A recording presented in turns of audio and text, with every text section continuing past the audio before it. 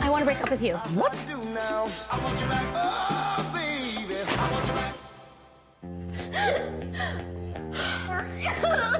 Hello?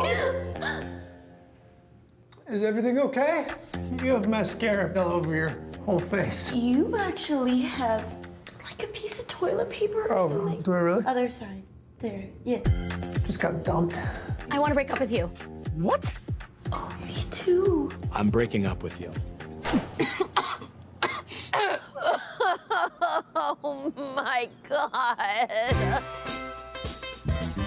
What about this? Whenever we're feeling like we just can't take it anymore, let's call each other. We're each other's sadness sisters. Well, Sadness Sisters sounds like you're Diane Keaton and I'm Meryl Streep and we're in a Broadway play, but oh I like it, yeah. That's a great cast. You should cast plays. Oh my god. And look at her with my boyfriend. This is bad.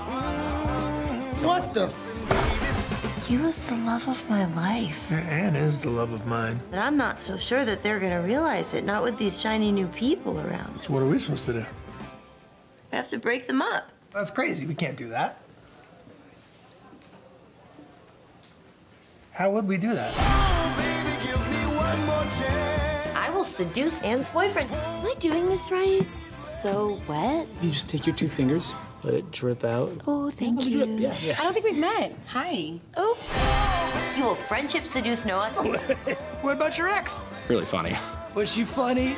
Pop that shirt off. I'd rather not. I'll tell you what. I'll take mine off too. That's not gonna help me at all. Can I tell you a little secret about being an adult?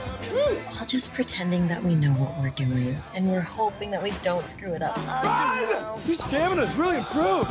It's the drugs. I find you both incredibly attractive. Oh, wow. Ow. Look at you. Good work. Yeah, man, I'm a psycho.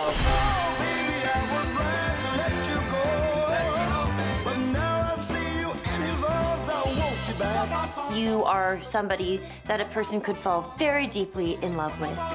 But it's more like slowly, over five or six months, Okay.